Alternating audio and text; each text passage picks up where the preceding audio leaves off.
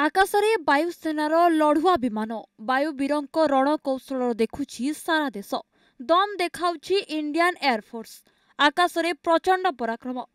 ଆଜି ଜାତୀୟ ବାୟୁସେନା ଦିବସରେ ଦେଖିବାକୁ ମିଳିଛି କିଛି ଏଭଳି ଚିତ୍ର। ଏହି ଅବସରରେ ବାୟୁସେନା ପକ୍ଷରୁ ବିଭିନ୍ନ କାର୍ଯ୍ୟକ୍ରମ ଅନୁଷ୍ଠିତ କରାଯାଇଛି।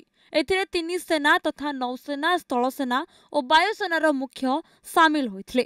ଏହି ନବେତମ ଭାରତୀୟ ବାୟୁସେନା ଦିବସରେ ଚଣ୍ଡିଗଡ଼ର ଏୟାରଫୋର୍ସ ସେଣ୍ଟରଠାରେ ହୋଇଥିଲା ଏକ ଭବ୍ୟ କାର୍ଯ୍ୟକ୍ରମ ପ୍ରତିବର୍ଷ ଅକ୍ଟୋବର ଆଠ ତାରିଖ ଦିନ ପାଳନ ହୁଏ ଏୟାରଫୋର୍ସ ଡେ ଏହି ଅବସରରେ ନିଜର ଦମ୍ ଦେଖାଇଛି ବୋଫର୍ସ ମିଗ୍ ସୁଖୋଇ ଭଳି ଲଢୁଆ ବିମାନ ଏଥିରେ ମୁଖ୍ୟ ଅତିଥି ଭାବେ ଯୋଗ ଦେଇଥିଲେ ଆଇଏଏଫ୍ ମୁଖ୍ୟ ତଥା ଏୟାର ମାର୍ଶାଲ ବିଆର୍ ଚୌଧୁରୀ ପ୍ରଧାନମନ୍ତ୍ରୀ ନରେନ୍ଦ୍ର ମୋଦି ବାୟୁବୀର ଓ ସେମାନଙ୍କ ପରିବାରକୁ ଅଭିନନ୍ଦନ ଜଣାଇଛନ୍ତି।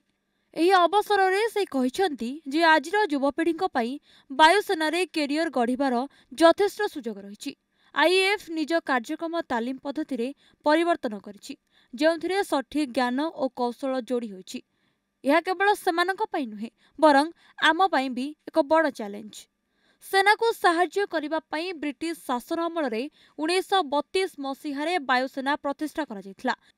ତେବେ ଆପଣ ଜାଣିଛନ୍ତି କି ବାୟୁସେନାରେ ଭର୍ତ୍ତି ହେବା ପାଇଁ କ'ଣ କରିବାକୁ ହେବ?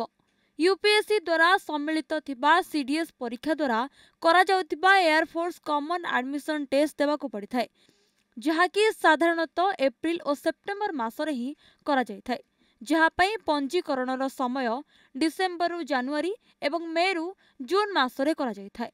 ପରୀକ୍ଷାର୍ଥୀମାନଙ୍କୁ ମୁଖ୍ୟତଃ ଗଣିତ ଓ ଭୌତିକ ବିଜ୍ଞାନରେ ଜ୍ଞାନ ଥିବା ଦରକାର ଏହାସହ ସେମାନଙ୍କର ଶିକ୍ଷାଗତ ଯୋଗ୍ୟତା ପ୍ଲସ୍ ଟୁ ଥିବା ଦରକାର।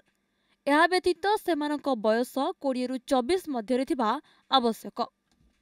Bureau report news eight Odia.